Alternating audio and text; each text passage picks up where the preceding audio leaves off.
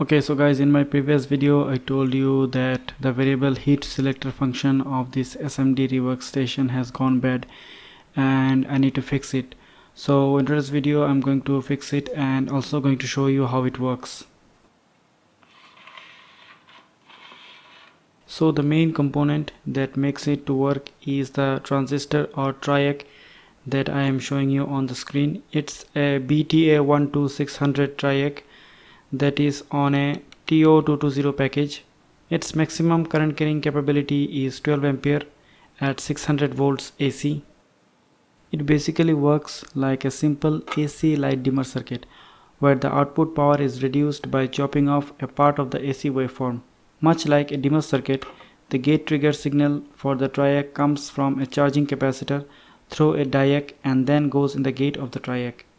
Here a diode 1N4007 is also used in between the triac and diac so that only half of the AC wave gets in the triac for controlling which in turn reduces the power to half that is going in the heating element at the maximum heat setting of this rework station. So I'm going to connect a 100 watt bulb into this output and show you that it does not control the intensity or it does not control the amount of current that it delivers. So I have soldered two wires that is connected with this 100 watt bulb and now I'm going to test it.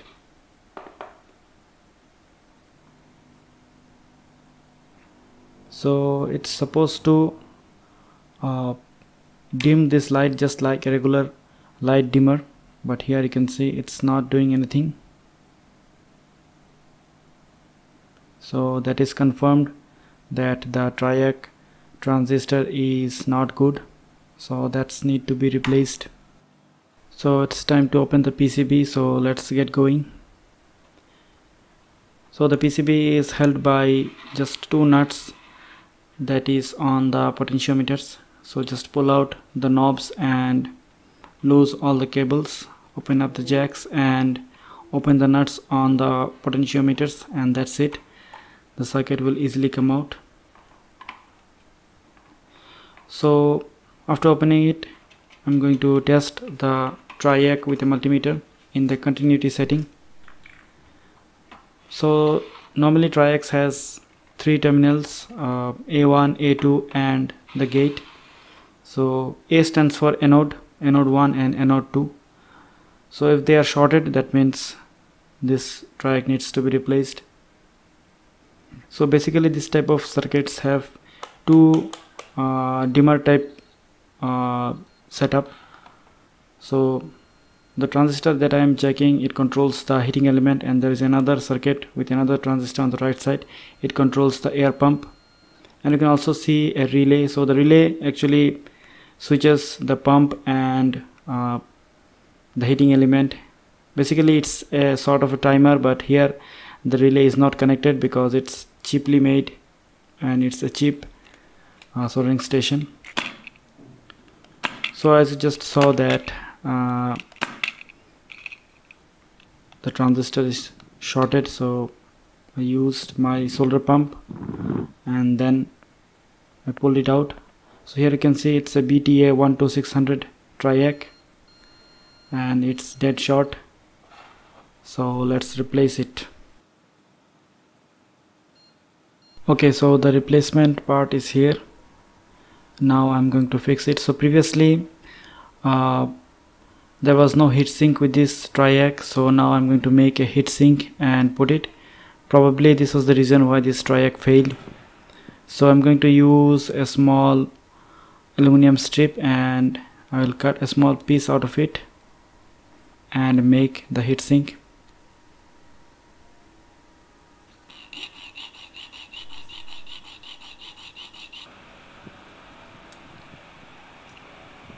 so that should be enough to cool the triac. So I'm going to use the pointed attachment that came with my screwdriver set. And I'm going to make the hole. It's a soft aluminum so it's very easy to make the hole. About 2 millimeter to 1.5 millimeter thick. So I sanded both the sides so that the heat transfer is efficient. And I've also applied a little bit of thermal paste.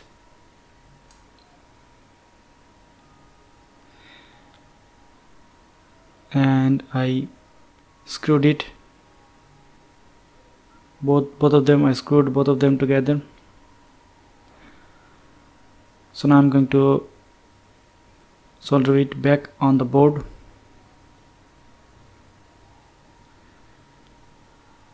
so using a little bit of flux I'm going to solder it.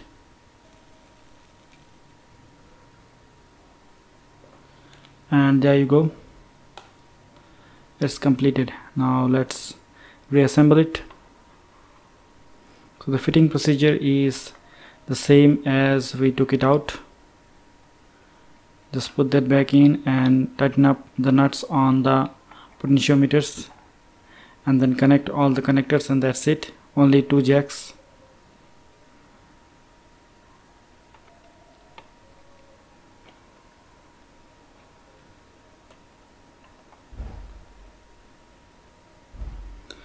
So now I'm going to put back the knobs.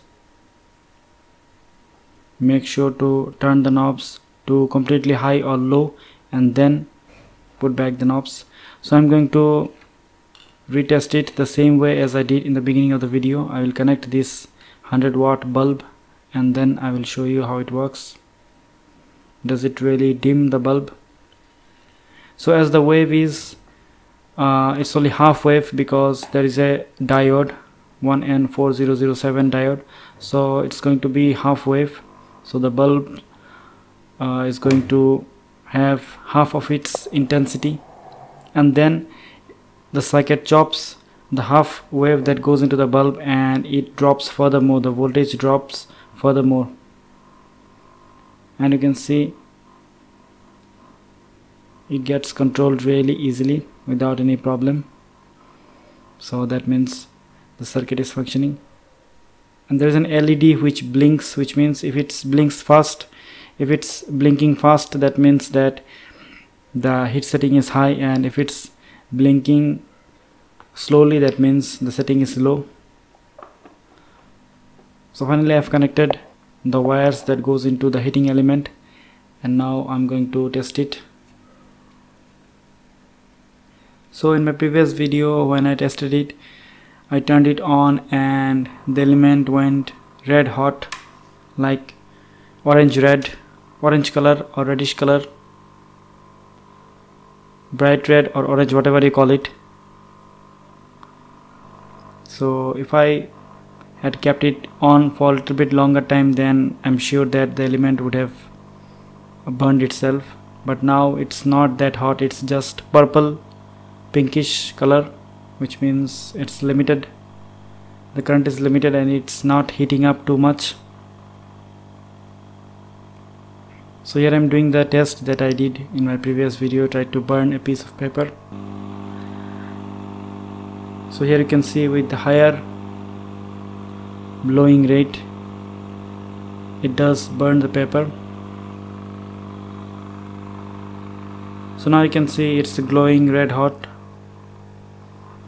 Although my phone does not show the color accurately but it's orange red uh, orange or red color like between the orange and red color and as I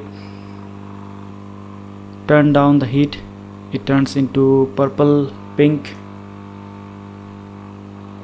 And if I turn it further down you can see the glowing is going out. The glow is not there.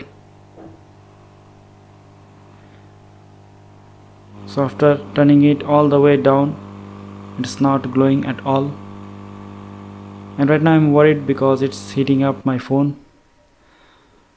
So finally it's done now I'm going to reassemble it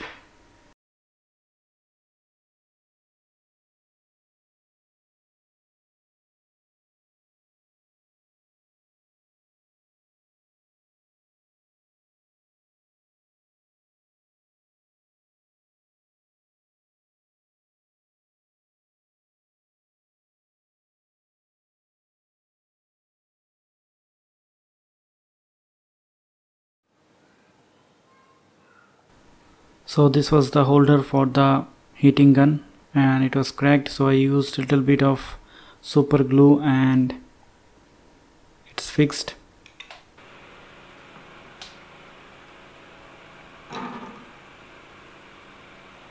So now I'm going to screw it onto the side of this reworking station SMD reworking station. And finally the work is done so this is how you can fix the circuit board of an SMD rework station or hot air blower. I hope you learned something from this video. So thanks a lot for watching. Hit the like button share it with your friends and if you are new then subscribe to my channel. So I'll see you soon. Have a nice day. Take care. Bye bye